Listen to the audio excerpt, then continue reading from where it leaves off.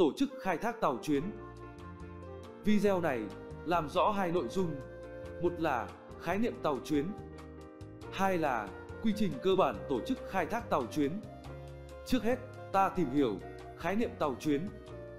Tàu chuyến là loại tàu hoạt động không theo chuyến cố định, không có lịch trình chạy tàu được công bố từ trước mà theo yêu cầu của người thuê tàu trên cơ sở của các loại hợp đồng theo từng chuyến.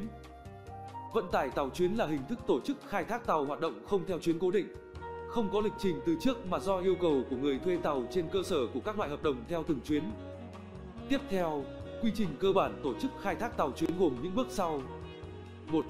Chào tàu, từ na offer và các yêu cầu vận chuyển, đơn hàng, cargo offer. Để quảng bá dịch vụ của mình, người khai thác tàu sẽ gửi các bản chào tàu tới các nhà môi giới, đại lý, các cửa hàng thông qua các phương tiện truyền thông hoặc mail, fax. Nội dung chủ yếu của bản chào tàu như sau: Tên tàu và quốc tịch, năm đóng và nơi đăng kiểm các đặc trưng kỹ thuật chủ yếu của đội bảo hiểm tàu. Người khai thác tàu sẽ thu thập các nhu cầu vận chuyển từ các chủ hàng hoặc từ người môi giới gửi tới bằng các mail, fax hoặc qua các website qua đó tìm kiếm cơ hội kinh doanh phù hợp với điều kiện khai thác của mình. Các đơn chào hàng thường có các nội dung cơ bản như sau: Tên hàng, khối lượng càn vận chuyển, dung sai về lượng và quyền lựa chọn, cảng đi và đến của hàng, xếp dỡ hàng, giá cước, điều kiện chi phí xếp dỡ, mức hoa hồng môi giới. 2. Lập các phương án sơ bộ bố trí tàu theo các đơn hàng. Cơ sở lập các phương án bố trí tàu phải thỏa mãn các điều kiện sau. Tàu phải đủ điều kiện đi biển theo tuyến vận chuyển. Cấp tàu phải phải phù hợp với tuyến đường vận chuyển theo đơn chào hàng, thỏa mãn các yêu cầu kiểm tra của chính quyền hành chính cảng biển. Đặc trưng khai thác tàu phải phù hợp với hàng hóa. Loại tàu phải phù hợp với hàng hóa cần vận chuyển. Cộng sức nâng của cần trụ tàu phù hợp với trọng lượng mã hàng. Cộng dung tích chứa hàng của tàu đủ để xếp hết lô hàng hóa yêu cầu, có thể xét đến khả năng xếp hàng trên bom nếu cho phép. Cộng trọng tải thực chở của tàu không được nhỏ hơn khối lượng hàng cần vận chuyển. Tàu phải đến cảng xếp hàng đúng theo yêu cầu về thời gian của người thuê. 3. Lập sơ đồ công nghệ chuyến đi. Sơ đồ công nghệ chuyến đi thể hiện các quá trình tác nghiệp của tàu trên đường đi và tại các cảng theo từng phương án bố trí tàu. Dựa vào sơ đồ công nghệ chuyến đi để xác định hao phí thời gian và chi phí khai thác cho chuyến đi của từng tàu trên từng tuyến. 4. Ước tính hiệu quả kinh tế chuyến đi và chọn phương án hợp lý. A. Tính toán chi phí và thu nhập chuyến đi. Chi phí chuyến đi của tàu gồm hai nhóm chính là chi phí cố định và chi phí biến đổi. Mục đích của việc tính tổng chi phí chuyến đi là để xây dựng mức cước hợp lý khi chủ tàu được quyền định cước. Chi phí cố định của các tàu phải có được tính sẵn thành một bảng cho từng con tàu theo thời gian để nhanh chóng so sánh với mức cho thuê định hạn và là cơ sở để xác định lãi dòng cho một ngày khai thác. Chi phí biến đổi của tàu sẽ phụ thuộc nhiều yếu tố khác nhau như lượng nhiên liệu tiêu thụ, giá cả nhiên liệu, số lượng cầu bến mà tàu phải ghé vào, biểu giá của các cảng, cự ly hành trình, điều kiện tuyến đường, thời hạn làm hàng, chi phí đại lý và môi giới. Thu nhập chủ yếu của tàu trong chuyến đi là tổng số tiền cước vận chuyển hàng hóa. Phụ thuộc vào mức cước, lượng hàng chuyên chở và mức dung sai về lượng do ai lựa chọn quy định trên các đơn chào hàng. Đối với tàu chở hàng khô thì mức cước thường được tính là bao nhiêu tiền trên một đơn vị chuyên chở, đô la trên MT, cho dù cước thỏa thuận hoặc được ấn định trước bởi người thuê tàu.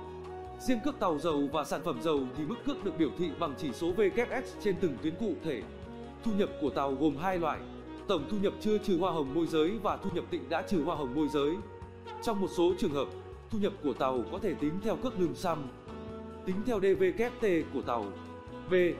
Chọn phương án Để quyết định chọn phương án nào có lợi trong số các phương án bố trí tàu sơ bộ đã lập, chủ tàu cần xem xét các vấn đề sau.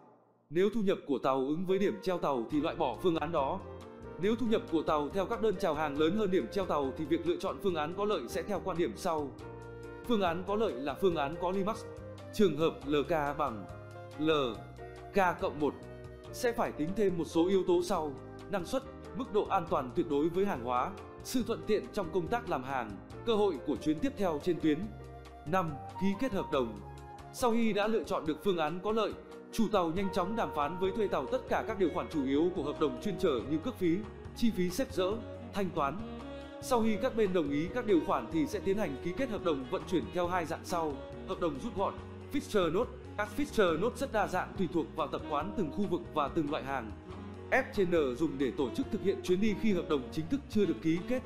Hợp đồng chính thức là văn bản đầy đủ các điều khoản do hai bên thỏa thuận để đơn giản hóa trình tự lập hợp đồng. Các bên thường dùng hợp đồng mẫu cho từng loại hàng theo các khu vực thị trường đồng thời kèm theo phụ lục, rider, lau của hợp đồng. Mẫu GNCON22 trên 76 trên 94 là mẫu được sử dụng rộng rãi hiện nay dùng cho hàng thông dụng không yêu cầu mẫu riêng. Trước khi kết thúc chuyến đi phải hoàn thành bản hợp đồng chính thức. 6. Thực hiện hợp đồng. Để hoàn thành thực hiện voyage đã ký, người khai thác tàu phải triển khai các công việc chính sau đây. Tìm đại lý phục vụ tàu tại các cảng, agency nomination. Lập bản hướng dẫn chuyến đi, sailing instruction. Thông báo tàu đến NOA tại cảng xếp và dỡ. Lập sơ đồ xếp hàng tại cảng xếp gửi cho các bên liên quan. Trao thông báo sẵn sàng, no. Nhận hàng để chở. Take the cargo in hit check for carriage. Cấp biên lai thuyền phó. Tại cảng xếp. Cấp vận đơn đường biển, ICUB trên L. Tại cảng xếp cho shipper. Lập bản được khai hàng hóa. Cargo manifest. Tại cảng xếp dỡ. Cấp lệnh giao hàng. Do. Tại cảng dỡ và trả hàng cho người nhận. Quyết toán chuyển đi các biên bản liên quan đến tàu và hàng ROROC, CO, CSC, SOF, lập hóa đơn thu cước, Fly Invoice. 7. Thanh lý hợp đồng. Sau khi kết thúc việc dỡ hàng các bên sẽ tiến hành thanh lý hợp đồng. Việc thanh lý hợp đồng có thể thực hiện bằng cách gặp gỡ trao đổi trực tiếp hoặc quy định tự động kết thúc sau một số ngày nhất định kể từ khi kết thúc việc dỡ hàng. Trên đây là những vấn đề cơ bản về quy trình tổ chức khai thác tàu chuyến. Nếu bạn thấy hữu ích, hãy ấn like và chia sẻ với bạn bè nhé. Cảm ơn các bạn đã lắng nghe.